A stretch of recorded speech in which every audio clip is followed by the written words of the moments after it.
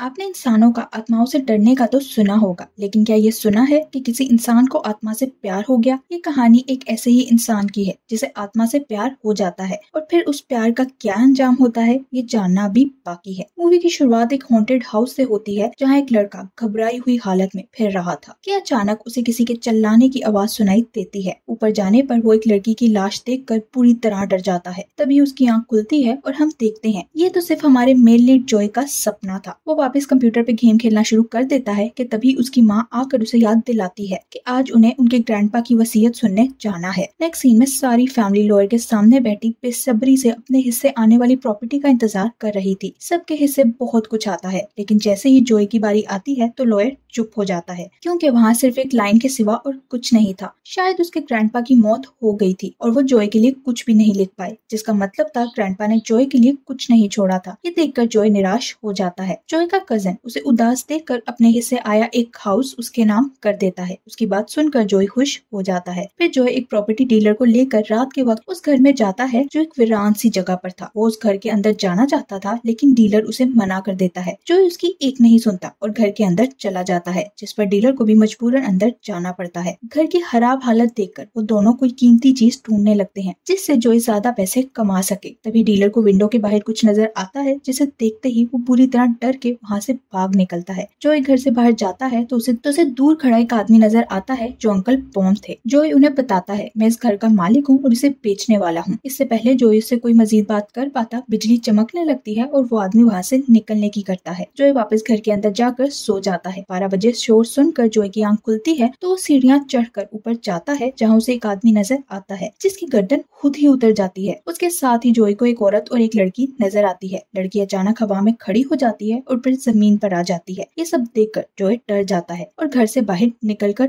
भाग जाता है। अगले दिन जोए पंडित को बुलाकर उस घर में नज़र आने वाले भूतों को भगाने का कहता है। पंडित घर में कोई अमल करके वहाँ से चला जाता है। पंडित के साथ अंकल पॉम्बी वहाँ आए थे, जो पंडित के साथ ही वापस जाने लगते हैं, लेकिन डर के मारे जोए उन्हें अपने साथ ही रोक लेता है। रात को बारह बजे अंकल पॉम घर से चले जाते हैं और जोए ऊपर जाकर चेक करता है तो उसे वहाँ कुछ नज़र नहीं आता, जिस पर जोए बहुत खुश होता है की उसकी भूतों से जान छूट गई फिर जोए पूजा करने लगता है और तभी वहाँ जोए को वही तीन आत्माएँ नज़र आती है जो उसे पिछली रात नज़र आई थी। जो इन्हें देखकर फिर डर जाता है और भगवान की मूर्ति के पीछे जाकर उन आत्माओं से कहता है, मैंने तुम लोगों को यहाँ से निकाल दिया था फिर तुम लोग यहाँ कैसे आ गए? ये सुनकर एक लड़की जो से कहती है, हम यहाँ से नहीं जाएँगे, क्योंकि हम यहाँ बहुत समय से रह रहे हैं। जो इन्हें कहता है, ये मेरा घर है, इसलिए यहाँ से चले जाओ। तभी अंकल वहाँ आ जाते हैं और वो तीन आत्माएँ वहीं से गायब हो जाती हैं। अपने घर जाकर जो इंटरनेट पर न्यूज़ देखता है, जिससे उसे पता चलता है, चौदह सितंबर को एक आदमी अपनी पत्नी के साथ ट्रिप पर गया था। उसके घर में एक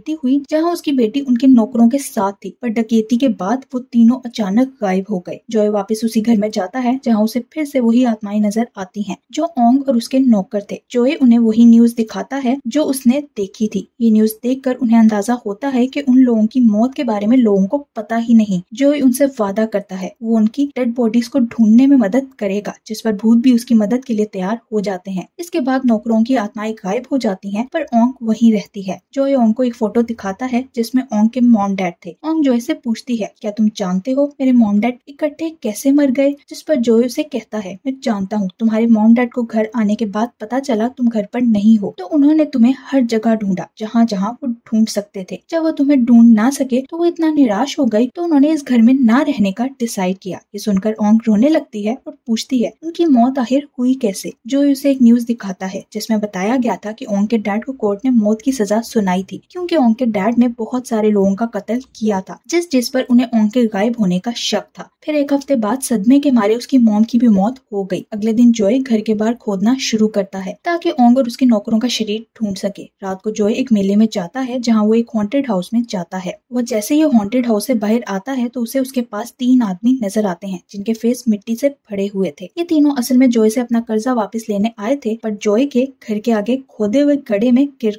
उनका ये हाल हो गया। वो उससे कर्जा वापस मांगते हैं तो जॉय कहता है, मैं तुम्हें पचास हज़ार सूद समेत वापस कर दूँगा। असल में हॉन्टेड हाउस को देख कर जॉय के माइंड में एक आइडिया आया था, जिस पर अमल करके वो कर्जा वापस चुकाने वाला था। वो लोग जॉय की बात पर विश्वास करके उसे थोड़ा और समय देते हुए वहाँ से चले जाते हैं, जिसके बाद जॉय घर वापस जाता है, जहाँ वो ओंग और उसके नौकरों से बात करता है और उन्हें कहता है, मैं एक हॉन्टेड हाउस बनाना चाहता हूँ। मैं चाहता हूँ जब इस हॉन्टेड हाउस को लोग देखने आए तो आप लोग उन्हें डराने के लिए परफॉर्म करें। नौकरानी जॉय से पूछती है, अगर हम मना कर दें तो क्या तुम हमारा शरीर नहीं ढूंढोगे? तो जोई उसे तसल्ली देते हुए कहता है ऐसा नहीं है लेकिन मैं चाहता हूँ मैं, मैं जल्द से जल्द अपना कर्जा उतार दूँ। ओंग उसे कहती है हम इसमें तुम्हारी मदद करेंगे। ये सुनकर जोई खुश हो जाता है और आगे की प्लानिंग करने लगता है। जोई घर को हॉन्टेड हाउस में चेंज कर देता है और इसका नाम ओंग हाउस रखता है। रात को घर के बाहर खड़े हुए जॉय वहाँ से किसी के गुजरने का इंतज़ार कर रहा था। तभी वहाँ से कुछ लोग गुजरते हैं जो जोई के साथ मेले में भी थे। जॉय उन्हें अपने हॉन्टेड घर के बारे में बताता है और अपने साथ घर के अंदर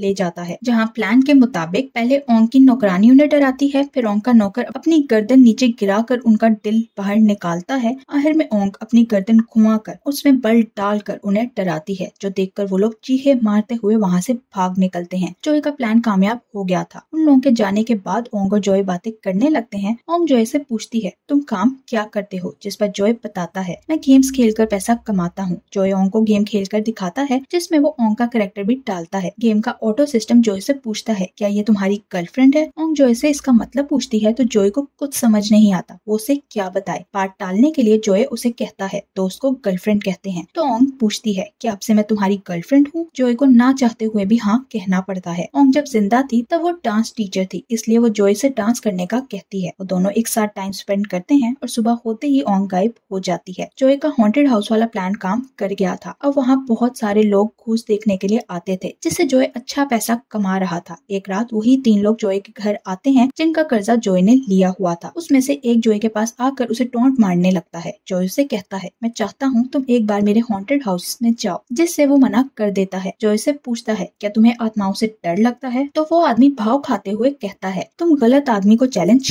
कर रहे हो। उसकी बात के जवाब में जोए कहता है, अगर तुम नहीं डरते तो तुम्हें एक बार घर देखना चाहिए। फिर मैं तुम्हारा कर्जा तुम्हें वापस कर दूँगा। वो आदमी अपने बाकी दो दोस्तों के साथ घर के अंदर जाता है, जहाँ ओंग और उसके नौकर उसे डराते हैं। उनसे डर कर उस आदमी की हालत इतनी पतली हो जाती है कि उसके लिए एंबुलेंस मंगवानी पड़ती है। जॉय उसे एंबुलेंस में डालते हुए उसका पैसा सूद समेत वापस कर देता है। रात को जॉय फिर से खुदाई करता है तो ओंग उसके पास आती है। जॉय उसे कहता है, मैं अपना सारा कर्जा उतार चुका हूँ, इसलिए मैं तुम लोगों को मुक्ति दिलाने में मदद कर सकता हूँ ये सुनकर ओंग उसे कहती है, ये सब करने में मुझे मज़ा आ रहा है जॉय उसे बताता है, हमारा हॉन्टेड हाउस देश के टॉप फाइव हॉन्टेड हाउस में शामिल है ओंग कहती है, जब तक हमारा घर पहले नंबर पर नहीं आ जाता, तब तक हमें ये काम बंद नहीं करना चाहिए, जिसके लिए जॉय मान जाता है। ओंग और जॉय एक दूसरे को पसंद करने लगे थे, लेकिन जॉय जानता था, एक आत्मा से प्यार करने का कोई फ़ायदा नहीं, वो दोनों कभी भी एक नहीं हो सकते। रात को जॉय घर के अंदर जाता है, जहाँ दो लड़के जॉय पर हमला कर देते हैं, जो घर के अंदर छुपे हुए थे। वो लोग जॉय को बेहोश कर देते हैं और उसके बाद घर की कीमती चीज़ें चुराने की कोशिश करते हैं, लेकिन तभी जॉय उठकर उन दोनों को गले से पकड़कर हवा में उठा देता है। ये काम असल में जॉय का नहीं, बल्कि उसके शरीर में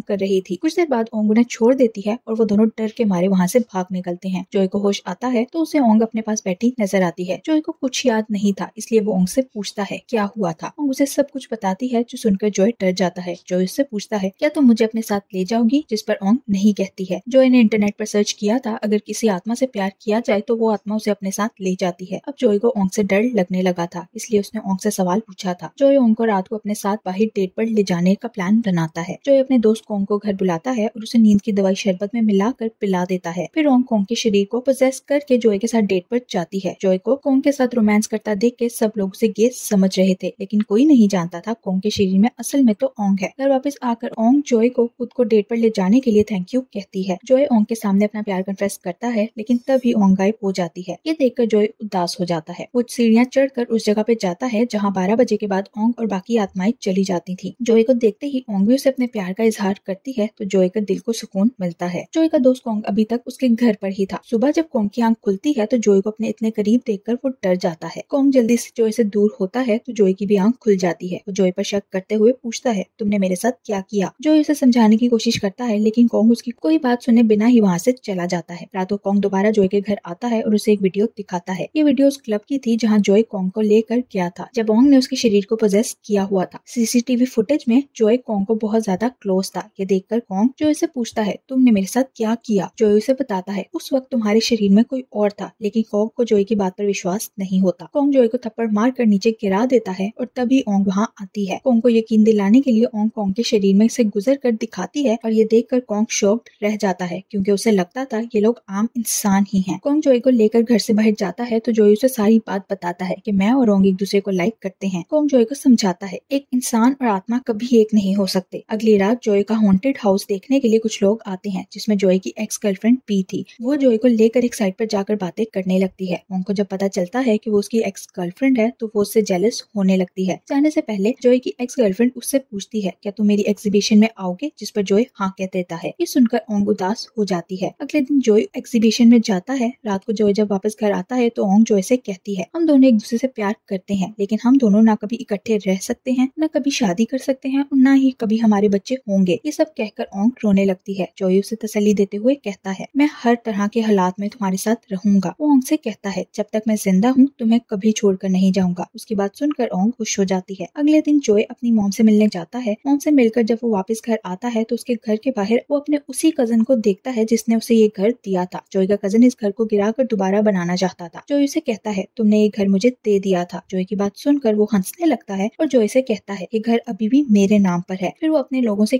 कहकर क्रेन की मदद से इस घर को तोड़वाना शुरू करता है जोय उसे रोकने की कोशिश करता है, लेकिन कुछ लोग उसे पकड़ लेते हैं जोई की आँखों के सामने सारा घर टूट जाता है और जोई चाहते हुए भी कुछ नहीं कर पाता। उनके जाने के बाद जोय वहीं रहता है। रात को जोय बारिश में भीगते हुए ओंग को आवाज़ें देता है और उसे सॉरी कहता है, लेकिन ओंग न जाने कहाँ चली गई थी। जोय के अपने पाओ के नीचे कुछ चीज़ फील होती है। जब वो देखता है तो उसे वहाँ ओंग और उसके नौकरों की हड्डियाँ मिलती हैं, जो काफ़ी साल पहले मर गए थे। यहाँ एक फ्लैशबैक दिखाया जाता है, जिसमें ओंग के मॉम डैड उसे घर के नौकरों के साथ छोड़कर कहीं गए थे। उसी रात घर में डाकू घुस आए। नौकर ओंग को डाकुओं से बचाने की कोशिश करते हैं, लेकिन डाकू नौकर को तलवार से उड़ा देता है। दूसरा डाकू नौकर की बीवी के पेट में तलवार मार कर उसे भी मार देता है। ओंग खुद को अकेला देख कर वहाँ से भागने की कोशिश करती है, लेकिन डाकू ओंग को गले से पकड़कर हवा में उठा देता है। गला दबाने से ओंग भी मर जाती है। तीनों को मारने के बाद डाकू उन्हें घर के अंदर ही दफना देते हैं। प्रेजेंट में जॉय के पास ओंग और उसके नौकरों की आत्माएँ आती हैं। जॉय ओंग से फिर सॉरी बोलता है और रोने लगता है। ओंग उसे कहती है, मैं खुश हूँ। मैं तुमसे दोबारा मिली। ओंग जॉय को हर चीज़ के लिए थैंक यू बोलती है, जो कुछ जॉय ने उसके लिए किया ओंग जॉय से कहती है, अब तुम्हें अपना ख्याल रखना होगा। वो जॉय को हमेशा के लिए गुड बाय कहकर गायब हो जाती है। जॉय उसे रोकने की कोशिश करता है, लेकिन वो ऐसा नहीं कर पाता। जॉय ओंग की स्टोरी जैसी एक गेम बनाता है, जिसे लोग बहुत पसंद करते हैं। वो अभी तक ओंग को नहीं भुला पाया था। वो मन ही मन में ओंग से बातें करते हुए उसे बताता है, अब मैं बहुत अमीर हो गया हूँ, क्योंकि मेरी ये गेम बहुत लोग खरीद रहे हैं। और यही इस मूवी की हैप्पी एंडिंग हो जाती है। Thank you for watching